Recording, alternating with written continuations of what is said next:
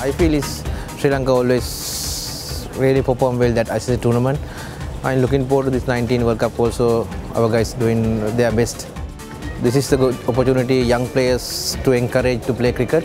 I think uh, that's the way we have to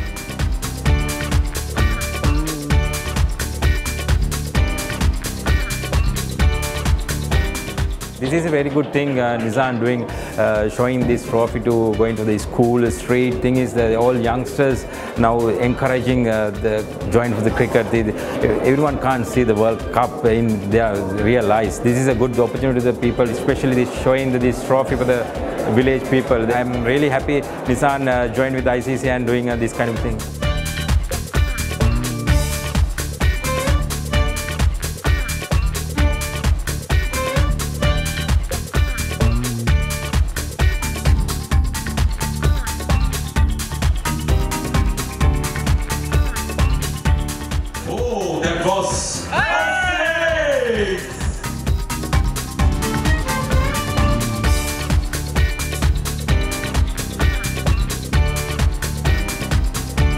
Garage पाहायला गेलं का नॉला तुम्हाला